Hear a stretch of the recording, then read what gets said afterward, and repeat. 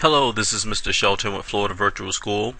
I'm going to do a quick video on how to schedule a DBA. We call them DBAs. They are discussion-based assessments. So try to follow the mouse as the video goes along. Alright, at the top you should see the course. The course, this is Advanced Placement Computer Science. Uh, some of you, most of you will see version 14 if you're new. And for my students who've been with me a while, you should see version 9. Okay. So this is the landing page. It should look something like this.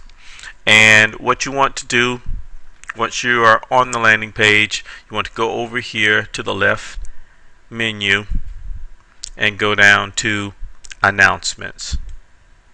And this is just a great page to start from anyway. So it has all of the help links on it. Scroll down to the bottom of the page and here you can make an appointment uh, for a, couple, a few things, but we're talking here the discussion-based assessment. So I'm going to open this in a new tab.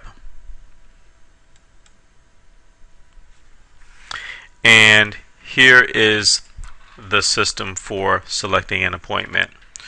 All of the available times you will see in blue, in bright blue. So because I'm part-time and I'm in school during the day, most of the time slots that you see will be in the evening at the bottom of the page for Monday through Friday.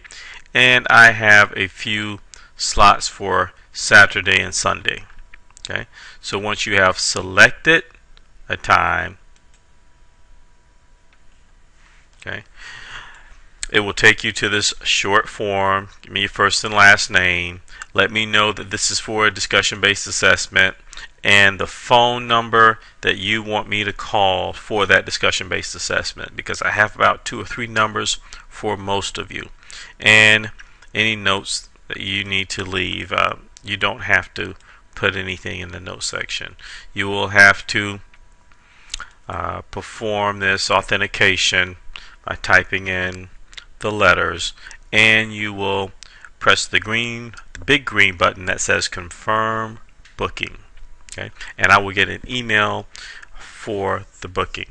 I don't think this is set up so that you can make an appointment uh, within 24 hours. It, it's a 24 hour lead time. So you everything should show for an appointment uh, availability uh, the next day okay?